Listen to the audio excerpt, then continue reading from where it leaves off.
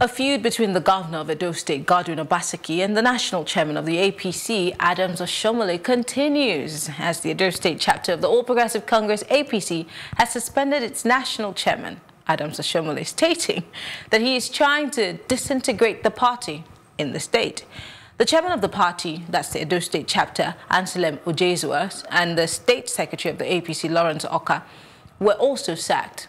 How's this going to pan out? Well, uh, I still have in the studio Biodun Sowunmi. He's a political analyst. He's going to try to make sense of all of this drama. There has been fire on the mountain since after the elections uh, uh, in Edo State, especially for the House of Assembly, the swearing in, and if the notice was given or not. It's, it's been a lot of, in, I mean, I don't, too many shenanigans going on in Edo State, at the detriment of the electorate, by the way. Now, it's tit for tat, suspension wise. What do you think is happening? Yeah, uh, it's action and reaction. Um, Adams Oshiomhole, you know, um, handed over to Obaseki and played a major role in his election in 2015. So, and consequently, um, he demanded to control the House of Assembly you know, brought in the speaker and key officers. So we saw the turmoil over uh, impeachment or no impeachment and all that in the first um, term of Obaseki. Now, Obaseki is going for his second term. And Adams Oshiomhole is in for a second term. Adams wants to control the House of Assembly as the godfather. And um, we have an, a more assertive Obaseki now in his second term saying, no, no, enough of that the House of Assembly will appoint its own representatives. So they went about and appointed their own representatives. And um, of course, that led to another turmoil. Uh, the faction led by Oshiomhole, one way or the other, tried to get the Senate involved. Uh, is it the Senate or the, the House, of, Reps? House of Reps involved with a view to take over the power, you know, of um, uh, the, the Edo State House of Assembly. It has happened before. That would not be unprecedented. It happened in Ogun State when Gbenga Daniel was in power, and then Dimeji Bankole was the speaker, and they had to usurp the, you know, take over the powers of the House of Assembly. So they tried to do do that.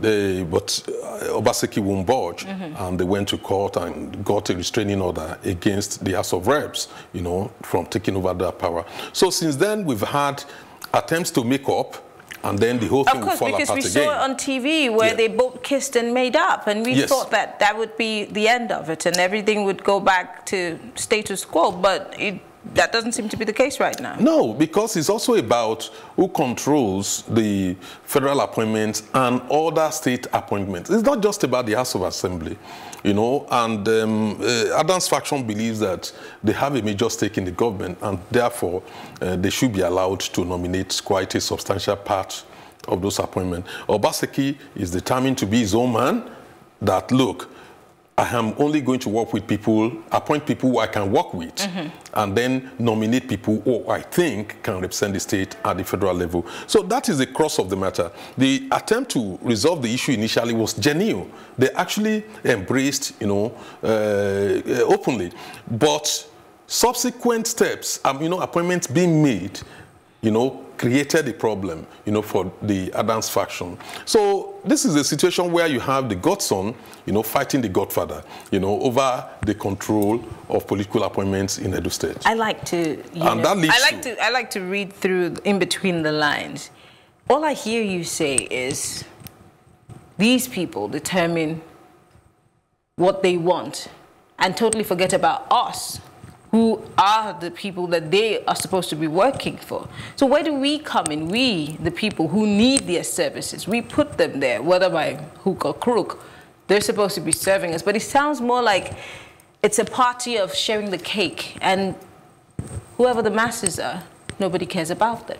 Yeah, to be so? Yeah, to be fair, um, Governor Obaseki came out publicly uh, to state that his refusal to share the cake the state cake uh, with um, the national chairman uh, was the major cross of the matter. That was before the embrace. He actually said that, and I read it and I had it. But the fact of the matter is what led to the removal of Adams Oshiomhole now is simply because they expelled him from or suspend him from the, um, the, from his branch is simply because they are hitting back his action and reaction of course they know that will not stand because if you, in line with um, apc constitution i think the National Working Committee has to ratify such an appoint, uh, so, such um, removal, mm-hmm. suspension mm -hmm. of a man of um, Oshiomhole standing, that is the national chairman. So whatever is playing behind the scene, we don't know. Mm -hmm. Maybe NWC will ratify it. Maybe this will be the end of Adams Oshiomhole's um, chairmanship of APC. No one knows. But the fact of the, the matter is it will not be the end of the struggle in Edo State. What worries me in all this is what about governance? Because there is a huge distraction for the governor currently. Exactly. And he needs to be able to focus, you know, on governance so as to deliver the dividends of democracy for the people of Edo State. But is that a priority? And that was my question. Is that a priority? Not just for that should be Governor a priority. Obaseki, but every other governor in this country, including the presidency, is the service of the people a priority and not most priority? Do we top the list for these guys? That should the be question. the priority. But in this situation, the battle now is the priority. It's like this. If your house is on fire, you are cooking soup, you are about to serve soup to the children, and the house is on fire. The first thing is you want to get out first, and then think about to rescue your children. You won't think about the soup. So in this situation currently, the focus of the Obaseki's government is on, you know, tackling Oshiomhole and trying to contain him nobody is really thinking about governance. No matter what, governance will suffer. And that worries me a lot. And I think um, this may be, this may raise the consciousness of the people about the dangers of godfatherism in our politics. That, that is what we are beginning to see with Adams, uh, what is uh, happening in Edo State. So I don't necessarily think there's anything wrong in God's son challenging their godfather, but at the end of the day, it should not be to the detriment of the people of Edo State. So you're saying that the drama that is taking place right now may not or will not affect Oshiomhole no as way. the national chairman, being that he wields a lot of power. But if the people at your grassroots, the people at your core are saying we do not want you, should that not shake the very core of who you are? Of course it will. Of course it will call its leadership into question, even if the National Working Committee refused to endorse uh, the decision of his local unit. Of course, um, it will call its leadership into question. Of course, it will lead to more problems, you know, because Adams will still want to wage uh, will the power of the chairman, and the local chapter, including the state chapter, will refuse to recognize them. So in that situation, we are in for a long-drawn battle. But if the National Working Committee endorses the decision, then that will be the end of Adam, because then uh, a caretaker committee chairman would, a caretaker chairman will be in place before the convention. I mean, before the elections, during and after, it's been a very, very tough time for the mm. APC national chairman, Adams Oshiomhole. We know how governors have been on his case, you know, because of the, take for example, the German Zamfara and River States. They lost all their seats because of one drama or the other, mm. uh, or the party chairman mm. deciding to lord his own people over whoever the other members of the party wanted. Could this also be the beginning of problems for the APC? Because there have been questions and polls as to if the APC will make it past 2019, I mean, into 2023. Yes. Um, if you look at it, Adam brought all these problems on himself. Uh, we saw all the controversy that trailed the gubernatorial primaries, um, the national primaries in many states, including some state primaries, uh, and we saw the whole problem. So he created it for himself. His excessive interference in all those elections created so much problem. some of the governors actually resisted him to the extent that two governors were actually suspended from the party. Uh, but maybe it's a payback time Maybe there are also people working behind the scene, no one knows. But the fact of the matter is this, um, that crisis actually cost Adam some credibility in terms of his leadership style. You know, I can remember people like uh, Professor Itse Sagay, you know, raising issues around, uh, we have want um, uh, Adam Oshiomhole, you know, to slow down and stop be behaving like a labor leader when you are the leader of, or the chairman of a political party. So, there are concerns being expressed quietly here, left, right, and center, and there are speculations about the fate of Adams. So all these are not helping. What now worsens the matter is the fact that even in his own home base, people are now challenging his authority. So that would be a big dent on Adams Oshiomhole himself. Interesting. Just before we go, um, the opposition, and lots of people have also said the opposition is not really playing its part because when the tables were turned under the former administration, they were really playing the opposition. They now who sit as the government of the day, they played the opposition pretty well.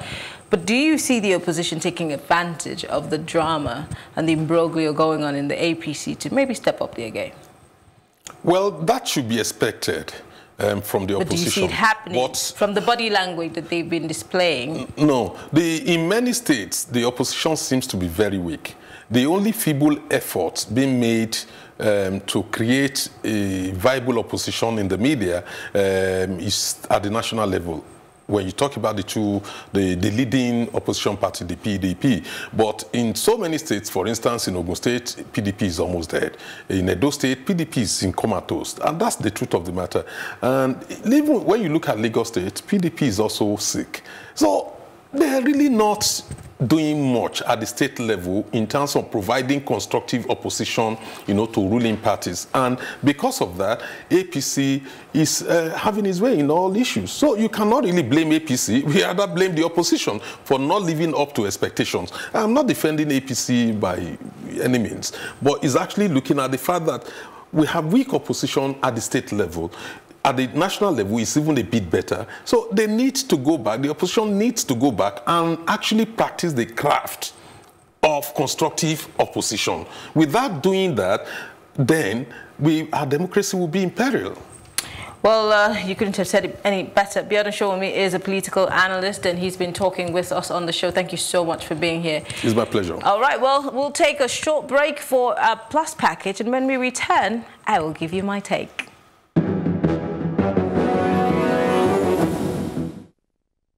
House of Representatives has described the ban on the sale of petrol to border communities as ill-advised and untenable.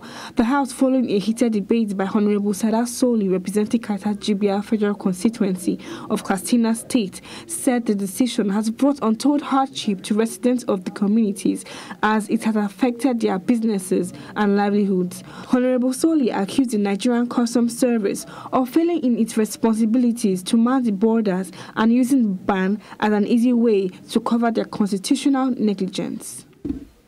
Petrol stations that they say they should not discharge, they were constructed by law. They were declared by DPR. They were constructed and they were registered by Corporate Affairs Commission. No, no arrangement was made to cater for these communities. Today, if my people travel from Jibia to Katsina, it's 45 kilometers to buy petrol, to come to power their generators, to do irrigation, they confiscate the petrol along the way. Sir, this is not acceptable. If the customs are failing to do their job, if they, if they, if they are covering up on the understanding that there is a smuggling of this product, who allows the smuggling? Let them shut down any petrol station that is engaged in smuggling, not inflict this hardship on Nigerian citizens. In matters like this, we have a lot of stakeholders that need to be taken into consideration before arriving at such a very far-reaching decision. Now, many, many Nigerians are suffering because of this decision, and it is very absurd for, a, for an agency of government to add more difficulty to Nigerians. We all know the borders are closed, but they still allow things to go in and out. I'm a living witness, and I stand to be corrected. Therefore, yesterday, I was there around 1 a.m. Nobody knows. I saw what they are doing. So, sir, the custom need to be invited here and they need to be questioned. This is the National Assembly.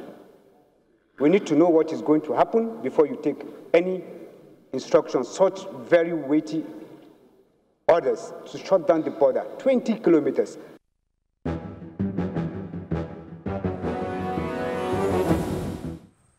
It's time for my take.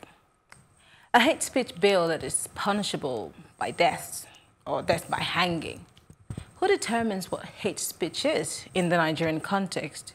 Could the lines between the criticism of political leaders and powerful men and inciting sentiments across religious and tribal lines be blurred? Or, or are our lawmakers misplacing the priorities of its citizens? It's a big question. What bill has been passed for election thuggery or looting of public funds by those who are in the political class? I mean, is hate speech really a problem in today's Nigeria, or are the ruling class afraid of the shadows? Will Nigerians sit and watch or let this slide?